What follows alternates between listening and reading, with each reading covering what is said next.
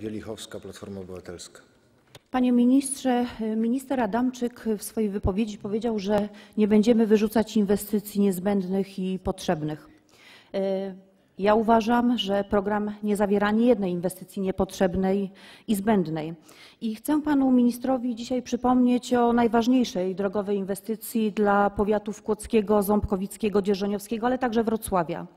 O drodze krajowej nr 8 na odcinku Wrocław-Kłodzko-Kudowa-Zdrój.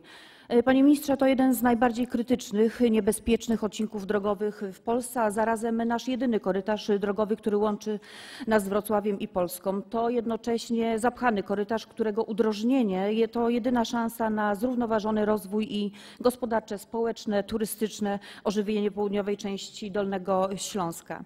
E, Od wielu lat jako poseł, wcześniej starosta, wraz z samorządowcami postulowaliśmy o konieczności budowy wydajnej, przepustowej i bezpiecznej drogi. Walka trwała przez wiele lat, już wtedy, kiedy ministrem infrastruktury był Jerzy Polaczek, a przy rządach było Prawo i Sprawiedliwość. Wtedy się nie udało.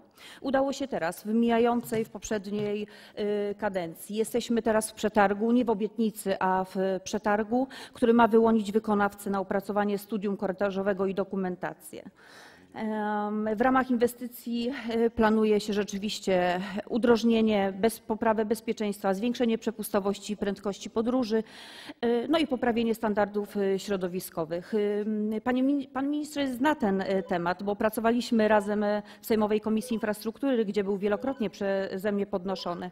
I mam pytanie, czy Przygotowanie projektu i dokumentacji, a w drugiej części samej już inwestycji y, nie jest zagrożone. Czy resort będzie realizował to najważniejsze dla nas mieszkańców Kłodzkiej, Ząbkowickiej, Dzierżoniowskiej y, ziemi, y, to drogowe zadanie? Dziękuję. Dziękuję. Głos ma